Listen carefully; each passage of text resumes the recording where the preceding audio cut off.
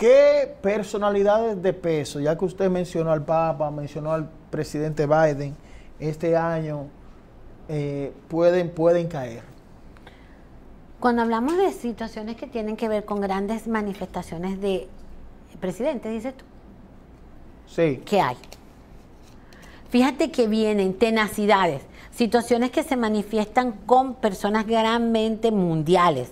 La muerte de varias personas a nivel mundial de mucha relevancia. Mira, la muerte de personas en el mundo que mueven poderíos. Sí, el mundo y muerte.